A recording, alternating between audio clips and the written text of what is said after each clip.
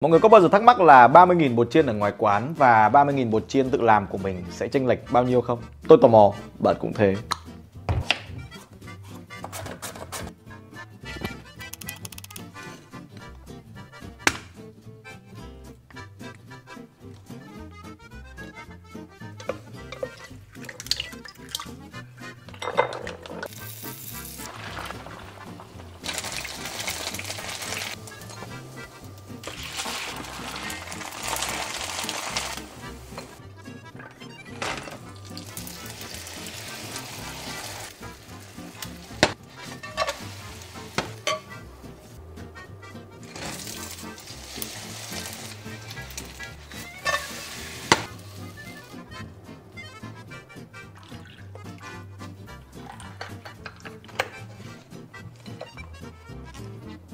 Mình đã làm xong thì đây sẽ là 30.000 bột chiên mà mình mua ngoài quán này. Còn đây sẽ là 30.000 bột chiên mà mình tự làm Được hẳn hai đĩa ha. Thôi thì mình cân thử phát xem thử là cái ở ngoài quán bao nhiêu với lại cái của mình bao nhiêu gam nhé Ờ, cái ở ngoài quán là 240 gram với cái đĩa đầu tiên của mình thì sẽ là 358 g.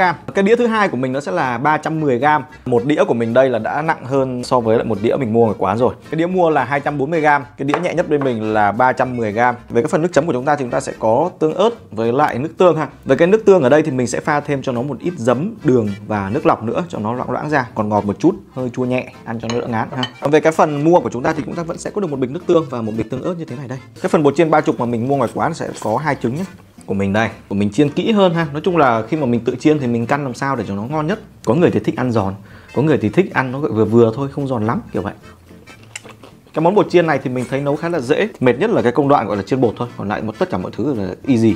Rồi, bây giờ tới công đoạn tính tiền này. Cái cục bột của mình là mình mua 23.000 cho một cái cục như thế, mình lấy một nửa, tính là 11.000 quả đu đủ xanh 25.000 một ký, mình nạo ra lấy có một xíu thôi, mình tính là 3.000 ít hành kia mình tính là 2.000 trứng mình sử dụng ở đây là 4 quả, nhưng mà thực ra là trứng đợt này nó hơi xuống một chút thì mình tính là 2.000 rưỡi một quả, nhưng mọi người là khoảng tầm 10.000 còn 5.000 còn lại thì mình sẽ tính cho tiền dầu ăn ha, tại vì cái món này chiên chiếc các kiểu cũng hơi tốn dầu ăn, thế nên là tính luôn. Về tổng chi phí cho hai đĩa bột chiên trên đĩa đây của mình là hết 30.000 không tính tiền công ha. Đại khái là một phần mình mua đây, dùng cái tiền đấy để đi mua nguyên liệu thì sẽ làm được khoảng tầm cho hai phần mình ăn ha. Tôi tò mò, bạn cũng thế. Thử nhá, cái món này nó dễ làm lắm mọi người, nếu như mà rảnh các kiểu ấy thì bỏ tiền ra mà mua, làm cho nó tiết kiệm ha.